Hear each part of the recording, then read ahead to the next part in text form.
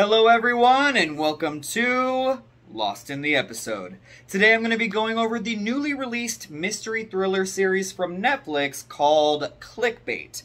It's already hit the top 10, but is it worth your time? Let's talk about it.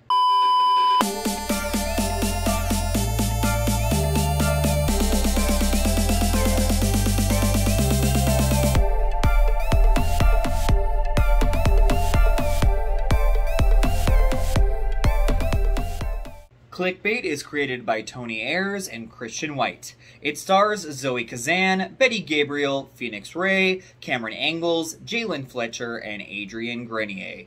When family man Nick Brewer is abducted in a crime with a sinister online twist, those closest to him race to uncover who is behind it and why. When I first saw the trailer for Clickbait, I couldn't help but think, wow, we've seen that before, and boy does it look cheesy. And my first initial instincts were right on the money.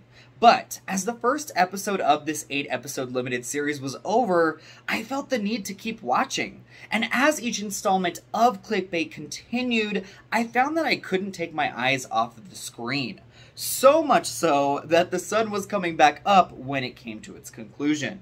Much of this has to do with the series structure, which we will talk about in a second, but let's get into the plot a little bit more.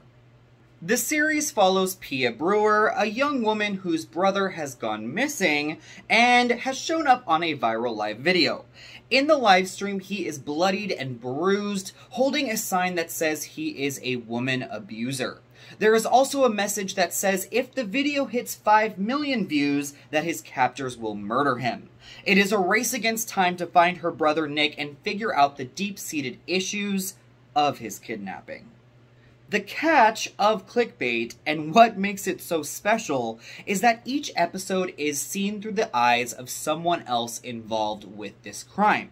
It starts out with Nick's sister Pia, but then the next episode we get to follow the detective assigned to the case, and so on and so forth. This format and structure is absolutely ingenious because it furthers the story in such a propulsive way. We are constantly learning new things about Nick's life, the people around him, and why he was kidnapped, but through the lens of a new character in each episode. It makes the series completely unpredictable, and the eight episodes just fly by. One thing I do want to say though before going into clickbait is that you shouldn't look at the episode names of the whole season. They give away what characters you will follow in said installment, and I think the experience is just so much more fun going into it blind and being surprised. Another thing that shocked me about this show is I honestly thought that I was on the trail of what was actually going on near the very beginning.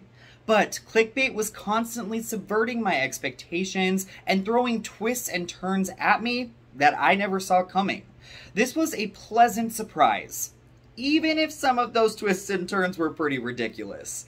And that is one thing you need to understand going into this show, is that it is over the top, cheesy, and very melodramatic but it is here to take you on a thrill ride of a mystery that, although is full of tropes of the genre, it wears those tropes on its sleeve like a badge of honor. I won't go into too much detail about the cast here, but you could say that the two main leads are Zoe Kazan as Nick's sister Pia and Betty Gabriel as his wife Sophie. They definitely hold this series up with their performances, as some of the other supporting players here are just not that good. Then again, the writing can be clunky at times, so I'm not really sure where to place the blame with on this one. But Kazan and Gabriel really create a captivating duo as two sister-in-laws coming together against all odds because of this horrible situation. At the end of the day, though, clickbait is not trying to win any awards. It's here to entertain and to thrill and to keep you guessing until the very end. And it succeeds in all three of those areas. It has one of the best soundtracks of the year that keeps the energy at its maximum. The characters are all captivating, even if some of the performers don't pull it off completely. And this ingenious structure of being able to see a crime through the eyes of so many different people really make this a must watch for any mystery fan. I know clickbait might not be the critics' cup of tea, but I think audiences are really going to fall in love with it. It's like a summer beach read. You can't stop flipping the pages until it's over. So I will be giving clickbait 3.75 dating apps out of 5. Although absolutely ridiculous and cheesy at times, this Netflix mystery thriller is a roller coaster ride full of unexpected twists and turns and an ingenious story structure that makes this one of the most bingeable shows of the year.